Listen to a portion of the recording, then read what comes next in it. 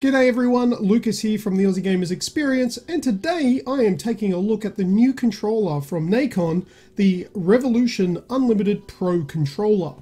Now first things first, I'm going to take this out of its neat little box packaging here that it comes with. Nice, nice little hard case, and uh, we'll take a look at what's what it's got inside, and then I'm going to go away, use it for a little bit, come back and finish the video with what I think of it. Alright, so let's open up the box. This is a this is a nice little hard controller case, which is really neat. All right, let's go. We'll go with this thing up the top here first, which is a uh, braided USB controller. So users here, we've got the USB. What are those that called? Type A, I think it is, to, to plug into your console. Now this is specifically made for the uh, the PlayStation 4. So it'll go into your uh, PlayStation 4. You can either charge it or play it in wired mode. I believe this also has a wireless uh, function as well, and has USB Type C uh, on the other end, which plugs into the controller itself. USB Type C, really good. It's a popular cable now, and uh, it's a really reliable cable as well. I really like how it uh, can go in either way. That's the cable. I think it's a three meter cable. I'll clarify that if I'm wrong later. All right, next in the box we've got, right, some stickers. Uh, I don't get stickers. Some people appreciate stickers. For me, where where do you put where do you put these stickers? Are you putting them on your computer? You put them on your monitor? You put them on your on your desk? Uh, your car? I don't I don't know. Where where are you putting your stickers when you get them in packaging? All right, we've also got probably warranty stuff in there. All right, uh, we've got a Revolution Unlimited Pro Controller microfiber cloth there, I guess to clean it. I usually think of these when I'm, you know, with a screen, but the, I don't think there's any screens. But anyway, we'll have a look and see if that's a useful addition. All right, uh, let's skip the controller. We'll have a look at that last. We've got this, and this to me looks like a small case of ammunition for some sort of firearm. But we'll have a look at that in a minute. Revolution Unlimited Pro Controller looks nice, all branded and uh, recyclable, whatever that means. All right, inside we've got, right, so these are a bunch of weights. We've got two 16 grams, 14, I guess that's a 14, it might be upside down. Yeah, two 14 gram weights and two 10 gram weights. Now this this controller is weighted. Being a pro controller, you can put different weights in it to um, to match however heavy you like the controller to be. So that's what these things are. They look like little dumbbells. The sort of dumbbells that you know you start off in the gym. little little mouse dumbbell. Alright, so also in here, down the bottom, we've got these sleeves. They just look like machined like O-rings or whatever but these are like the shafts for the thumbsticks. I'll have a look at them in a second. And what I understand of these is you can they, like you put them on the shaft and the, the thickness of this oh, just all this sounds like innuendo will restrict the travel of the stick. So if you want the stick to travel further you would use a thinner one and thicker if you want the stick to be shorter the throw and then you would adjust the settings for the controller in the Pro uh, computer app. I'm not even sure what it's called yet. I haven't used it, but uh, I believe that's what you would do. So you adjust the um, the the stick's travel, and then you physically adjust it using these things. There, there's the differences. All right, and on these outsides here, we've got the two thumbsticks, which these ones are the convex ones. Well, how about we have it in the middle of the camera? The convex one's there, and there's another one on the other side just there. And on the controller itself, it'll have the concave one, so you can adjust that there. Right, so that's a little container which has a bunch of accessories for you to adjust the controller the way you want it to be. Um, let's have a look at the controller. So here's the actual controller. So we've got what is a Pro controller for the PlayStation 4. However, we've got the layout from the Xbox One. So we've got the offset sticks. These are swapped around if you know, don't know what I'm talking about there. And got the uh, the concave uh, thumbstick tops on them. Now, how do these come off? Whoa!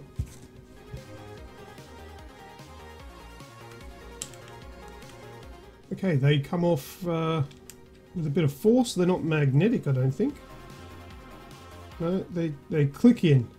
Yeah, they're not magnetic. I don't know, I, I think I like the magnetic ones. Although, you know, the magnetic ones aren't as, well, aren't as secure, but they're secure enough. I mean, I've never had one come off, so I'm a bit disappointed they haven't gone for the magnetic. It's rather just a clip that you feel like you're going to break. See, there's a little clip in there. Okay, there we go. That's an angle there. You can see the clip on the outside that will go into the thumbstick and lock on. And that's got the sleeves on there as well. You can adjust them. They're like they must be like a mid. Oh no, they're really thin those ones. So the ones that, he, that you get with it are much thicker. Alright, let's keep looking. The face buttons. We've got pretty regular buttons. They feel good. Let me just do this a little. Yeah, they feel nice. They feel nice enough. Oh, the thumbsticks feel nice too. Well, it's brand new, so it should feel nice. And we've got a touchpad there, which is the touchpad for the PS4, which has, what is that? Yeah, really tiny uh, PlayStation 4 symbols with the Nacon label on it. Okay, and we've got four lights along the bottom here, what look like lights. I'm guessing that would be either modes or possibly what controller this is uh, linked to on the console. Don't know, I'll have to find that out. And we've got the share button and the options button or start and select for old gamers like me. Alright, uh, is that everything on the front now? There's a light down the bottom here, not sure what that is, that might be power. That's also a light around the ring of the right stick as well. Now the finish is kind of like a soft touch plastic. However, this is like a smooth soft touch, so it's getting grubby. Look at that. Now this is how it has already been used by Snooks for his review, but that's got greasy sort of grubby marks on it. This kind of plastic, I guess, surface is really susceptible to that. That might be where this will come in handy. But then again, if it wasn't that kind of plastic, you probably wouldn't have that problem here. See, that sort of cleaned it off now. But do you really want to be doing that all the time? Alright, flicking around, let's have a look on the back here. I might need to have a look for myself. Oh, this is even grubby too from greasy fingers. Oh, look, I, I promise I'm not a, like, germaholic or germaholic, not a germophobic or clean freak or anything, but that sort of stuff is just it's it's very obvious, very obvious to me right now. All right, I'm going to start off. Let's talk about these ones. These are probably the most important buttons when I think of a Pro controller down the bottom here. Okay, these things will emulate the face buttons. So you can, instead of taking your thumb off the stick to press one of these buttons in a game, you can, your hands are already there. So why not just press one of these buttons? So that's the idea behind that. All right, but um, I believe with this controller you could probably remap these to be whatever you want, any button. You could probably make it a an R an RB, uh, sorry, an R1 or an R2, but I'll have to check that in the software.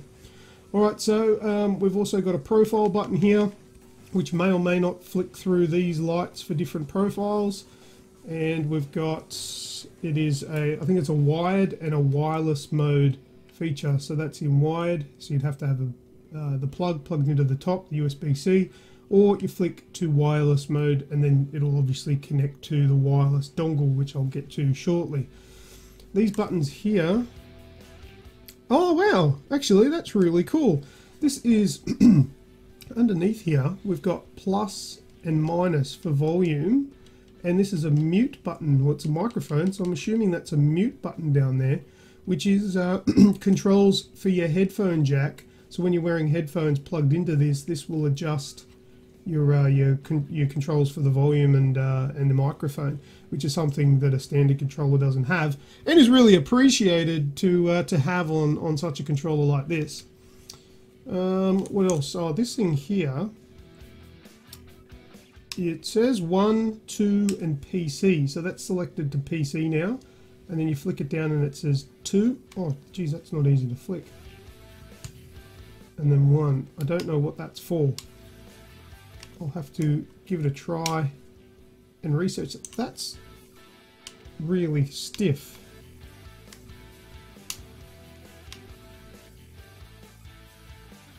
Alright.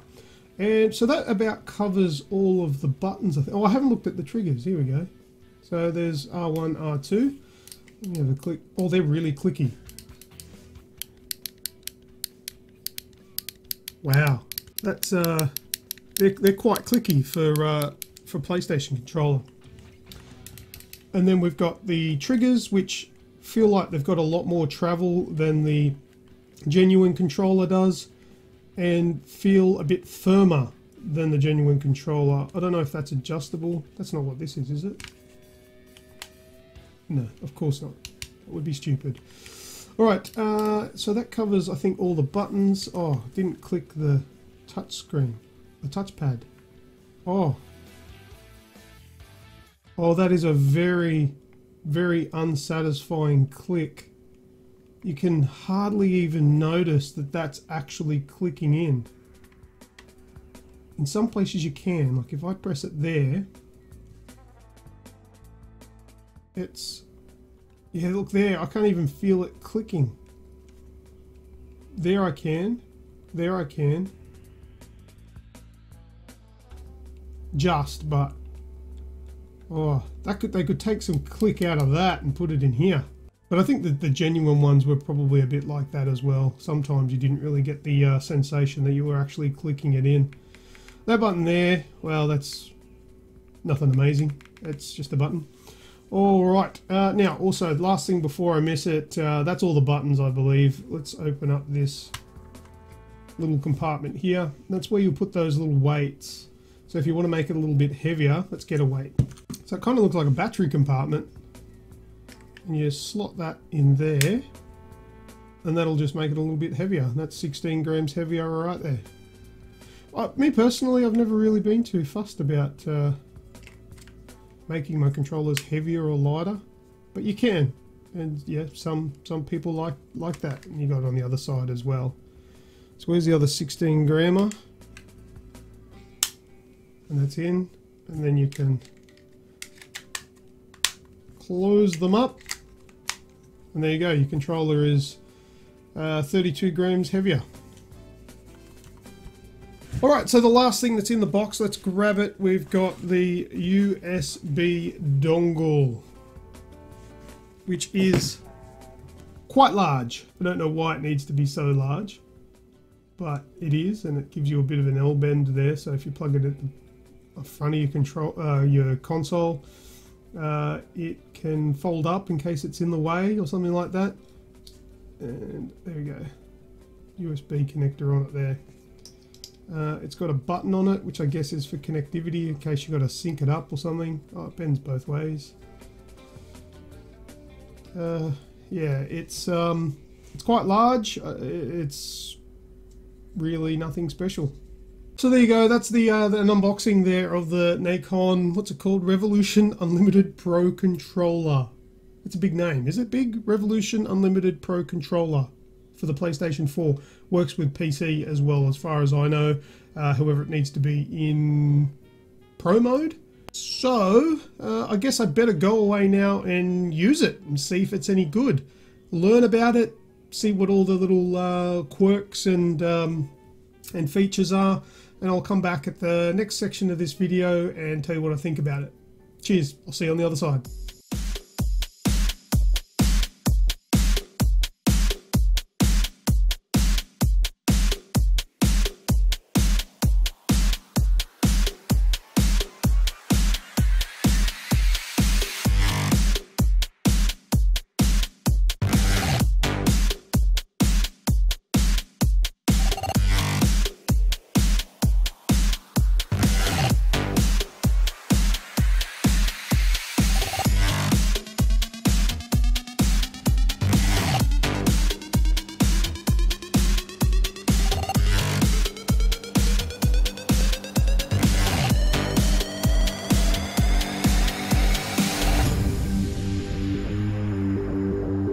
Okay, so let's bring this video home with my final thoughts on the Nacon Revolution Unlimited Pro Controller. A really big name and hard to remember to recite. So I've used the controller a fair bit now, playing a few different games like uh, Trials Rising, not a massive Pro Controller style game, but it gets the job done, and trying other games like Division and Destiny and things like that. So my thoughts on the on the controller itself. The controller is really nice. It feels good. It is brand new, so the triggers and the thumbsticks are all going to feel smooth like any of the proprietary controllers do. However, this one is a little bit bigger in the hand than the uh, the standard PS4 controller. It's a little bit more sized like an Xbox One controller and also has the layout there with the thumbstick and the D-pad switched around, which some people may appreciate. I like it. Um, I'm not fussed either way. I like both of the controllers, but some people prefer like this. So now you've got the option. Uh, now, uh, the the using it, it, it feels great. It's good in the hand. Everything works fine. The buttons on the back, I feel they lack a little bit of tactile distinguishment between the two. They are kind of flat, as you can see. Uh, between the two, it's hard to distinguish by feel. Probably something that you can get used to with time, but initially it's easy to press the wrong one. Uh, I've used controllers in the past with real, real distinct buttons, and you can really tell which one's which. They're very separate, but these ones sort of mold into each other, which is uh, it's it's good because it's flush and they, they don't sort of get in the way.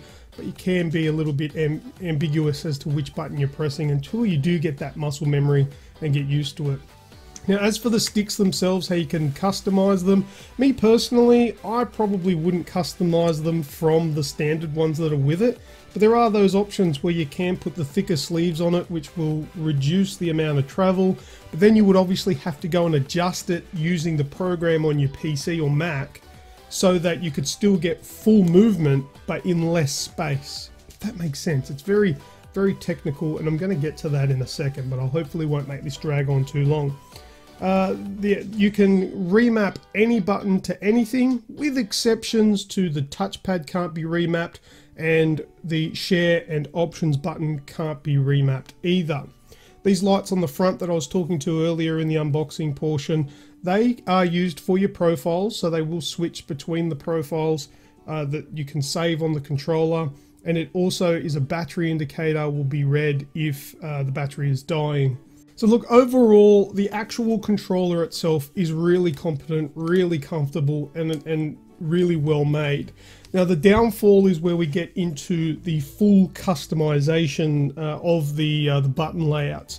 Good thing is you can download profiles that other people have created and uploaded. So if you want a specific one that's really detailed for a game like Apex, you can download the Apex layout and it'll explain on, on, the, on the download what's been altered and what's been changed, what's been remapped. You can also get stuff for like Fortnite, Call of Duty, Destiny, Division, all that sort of stuff. So there's pre-made uh, uh, layouts and, and profiles that you can download and add to the controller, saving yourself from doing it. Now the problem is I don't have a PhD in crazily super smart tinkering with these sort of things. Uh, I'm just uh, what I would probably refer to an average gamer. I just like to play video games and I enjoy them and I generally just use what I've got. Now going into the actual software, it's not user friendly at all. I, I find myself to be the kind of person who's pretty good with these kind of things. I use a lot of them and uh, generally they're intuitive in the way that you know you can work out pretty much what you need, what you can do, how to do it just by looking at the user interface. That's not the case with this Nacon one, where you go into the program and it is confusing as hell. There's stuff everywhere. Things don't work. You can't adjust things. Then you you go into other sec sections where you think that you should have been able to do something, but you can't. You have to go somewhere else. It, it's really, really mind-bogglingly tricky. This controller, I'm not saying the program's broken. I'm just saying it's not easy to use. I, I, I couldn't work it out. In the end, after about an hour, a bit over an hour of tinkering with it, I just bloody well gave up. The only thing I worked out how to do is to make the ring around here all different colors and spin around. I'll see if I can get it to do that. So blue, and there's got the green and red. I don't know if that's showing up very well.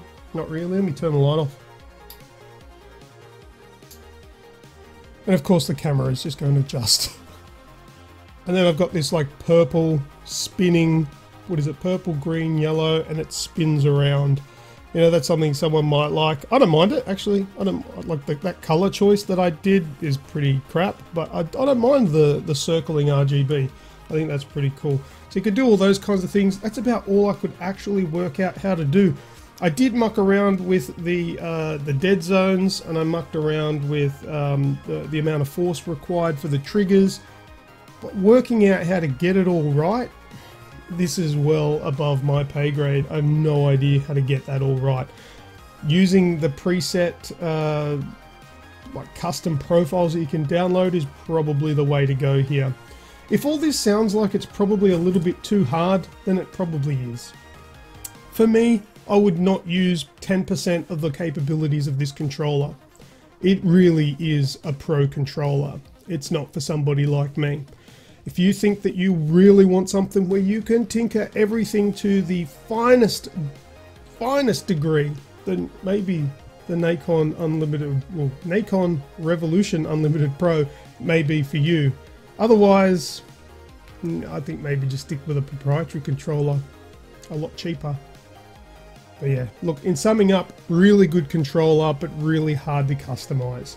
Thank you very much for checking out this video. My name is Lucas and I'm from the Aussie Gamers Experience. Please, if you're this far in the video, you may as well give me a like. I'd really appreciate that and hit the subscribe button to come back and see more from the Aussie Gamers Experience. There is another video on this channel previous to this one by Snoogs, another one of our teammates, and he has put his thoughts in that video of this very same controller. Also, there is a weekly podcast called The Aussie Gamers Experience available on iTunes, Stitcher, TuneIn Radio, iHeartRadio, Spotify, basically everywhere you can think of it. Also on this YouTube channel. Coming up very soonly, soonly? Coming up very soon even, uh, Snoogs actually talks about the controller on that episode, 254 I believe it is. But that's enough rambling. Thanks a lot. As always, I am Lucas, and until next time, I will see ya!